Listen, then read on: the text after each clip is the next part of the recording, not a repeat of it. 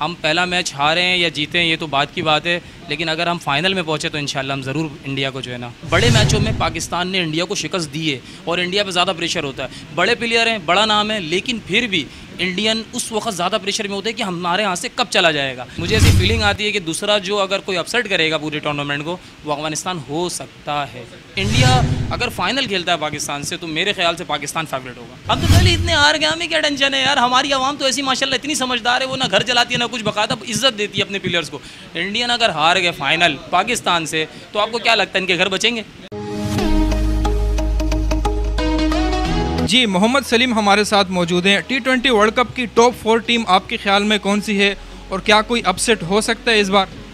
भाई इस वक्त जो ऐसा लग रहा है कि पाकिस्तान इंडिया दो बेस्ट टीमें जो वर्ल्ड कप फाइनल खेलने की ताकत रखते हैं। इसके अलावा फोर की बात है तो वेस्ट इंडीज़ और इंग्लैंड दो टीमें ऐसी हैं जो ऐसा लगता है कि सेमीफाइनल इन चारों टीमों का मुकाबला होगा और इंशाल्लाह फाइनल ऐसा लग रहा है पाकिस्तान इंडिया ज़रूर खेलेगी। और हम पहला मैच हारें या जीतें ये तो बात की बात है, लेकिन अगर हम फाइनल में पहुँचे तो इन हम ज़रूर इंडिया को जो है ना, बिल्कुल। ज़बरदस्त बड़ी बात की आपने, अगर पहले मैच हार भी गए तो फाइनल में अगर इंडिया सामने आएगा तो पाकिस्तान इंडिया को हरा दे। इनशाला इनशाला मुझे ऐसा ही महसूस होता है कि पाकिस्तान शायद पहला मैच ना निकाल पाए तो कोई बात नहीं। पाकिस्तान को उसे सीखने को बहुत कुछ मिलेगा और जब वो फाइनल में टकराएँगे, अपनी बाकी मैचें मेहनत करके जब फाइनल में टकराएगा तो इनशाला बड़े मैचों में पाकिस्तान ने इंडिया को शिकस्त दी है और इंडिया पर ज़्यादा प्रेशर होता है। बड़े प्लेयर हैं, बड़ा नाम है, लेकिन फिर भी इंडियन उस वक्त ज़्यादा प्रेशर में होते हैं कि हमारे यहाँ से कब चला जाएगा। और पाकिस्तान तो खुले दिल से खेलते हैं, हम तो हर बार हारते हुए हैं। तो इन इस बार जो है, ऐसा लगता है कि बड़ा फाइनल हम इन निकालेंगे। यकीनन आप प्रेशर इस चीज़ का होता है, एक टीम जब बार बार हारती हुई आ रही है, वो अगर एक बार और भी हार जाए तो इतना बड़ी बात नहीं, लेकिन जो टीम नहीं हारती, वो अगर हार जाए तो उनकी आवाम, फिर उनके सारी चीज़ें, सही बात की। अच्छा कोई ऐसी टीम जो अपसेट कर सकती है, छोटी टीमों में कोई ऐसी टीम है, जिस पर आपको जो है ना भरोसा हो या कहीं ना कहीं वो अच्छी परफॉर्मेंस दिखाते हो? मुझे ऐसा लगता है अफगानिस्तानी स्पिनर्स जो हैं बहुत डिस्टर्ब करेंगे पूरे मैच में। अगर अफ़गानिस्तान के पास अच्छी batting lineup stay batting lineup होती ना तो इस वक्त अफगानिस्तानी टीम बहुत ही ज़्यादा मुश्किल करती सबके लिए। फिर भी अफगानिस्तानी टीम को बिल्कुल भी हल्का नहीं लेना चाहिए।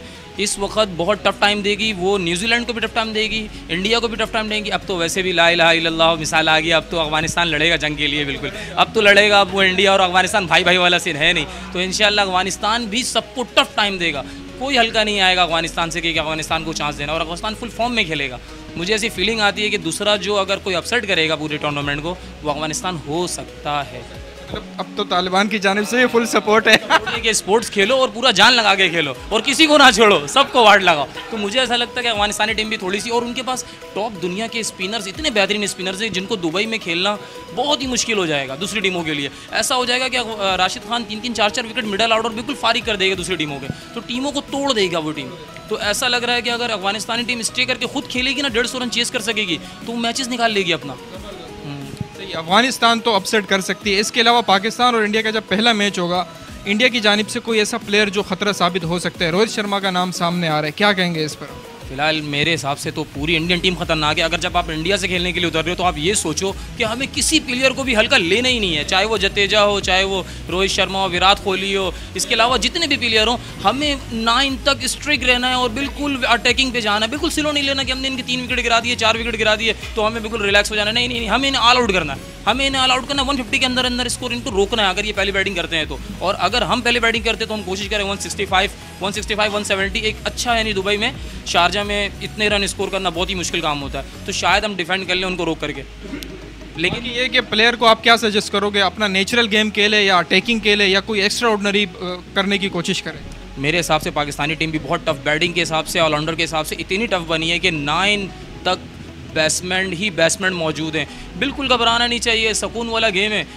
फ़खर जमान, जो जो जिसका जैसा प्लेइंग है, वो वैसे ही खेले कोई ज़रूरत नहीं है कि एक्स्ट्रा बाबर आज़म एक खूबसूरत प्लेयर है, वो अपना शॉट अपनी जिस तरीके से खेलता है, उसी तरीके से खेले। फ़खर जमान भी उसी तरह, रिजवान भी इस वक्त बहुत अच्छी जा रहा है, वो भी उसी तरीके से खेले। एफर्ट दिखाने की ज़रूरत है तो मेरे हिसाब से मलिक ऐसा प्लेयर है जो आपके लिए विनिंग कम्युनिकेशन में बहुत ही अहम किरदार अदा करेगा नीचे से, एक मलिक और एक अम्माद। ये वो प्लेयर्स हैं जो आपको एंड के पाँच ओवर चार ओवर में स्कोर भी करके देंगे और चेज़ में स्टे करके रन भी करके देंगे आपको। तो ये वो दो मुझे प्लेयर ऐसे लगते हैं, मलिक और अम्माद जो पाकिस्तान को मैच जितवा सकते हैं विनिंग प्लेयर हैं। अगर पाकिस्तान के पाँच छः आउट भी हो जाते हैं तो नीचे भी ऐसे बैट्समैन मौजूद हैं, शादाब खान अम्माद इसके अलावा हसन अली, इस तरह के ऑलराउंडर मौजूद हैं, जो मैच को निकाल सकते हैं। तो ऊपर के प्लेयर को चाहिए दिल बड़ा करके खेले, ताकि हम बड़ा स्कोर देने में कामयाब हों। बाकी ओपनिंग से आप मुतमिन है, रिजवान और बाबर की जोड़ी बेस्ट है इस वक्त इस वक्त। फ़िलहाल तो अभी तो इंटरनेशनल में ये बहुत अच्छा परफॉर्मेंस दे रहे हैं, लेकिन रिजवान ने खुद मैंने एक वीडियो में देखी, रिजवान ने खुद बोला कि अगर मुझे कुर्बानी देना पड़े फ़खर के लिए तो मैं दे दूँगा, कोई मसला नहीं है। फ़खर क्योंकि नीचे खेलने में थोड़ी सी परेशानी होती है उसको थ्री फोर में खेलने में। छः ओवर के बाद जब वो आता है क्रिस में तो थोड़ा सा अपसेट नज़र आता है। ऐसा लगता है पावर प्ले का बैट्समैन है। तो मेरे ख्याल से फ़खर को ऊपर खिलाना ज़्यादा मुनासिब होगा, चाहे वो रिजवान के साथ हो, चाहे वो बाबर आज़म के साथ हो। बाबर आज़म खुद वन डाउन कर ले या रिजवान को वन डाउन करवा ले तो एक अच्छा साइन बन जाएगा। फोर्थ पे आ जाएँगे हैदर अली साहब। हफीज़ आ जाएँगे फाइव पे मलिक आ जाएँगे एक बहुत अच्छा टीम बन जाएगा बिल्कुल ज़बरदस्त किस्म का।